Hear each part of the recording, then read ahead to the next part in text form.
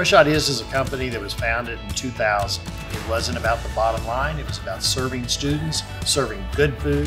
What I could tell you is about how helpful Bank of Missouri has been through the pandemic, through the SBA loans, um, professionalism that Mike Ireland and his team brings to Fresh Ideas. If there's ever anything we need, we pick up the phone, we call Mike, and Mike gets it done. At the Bank of Missouri, we help you live well, bank well.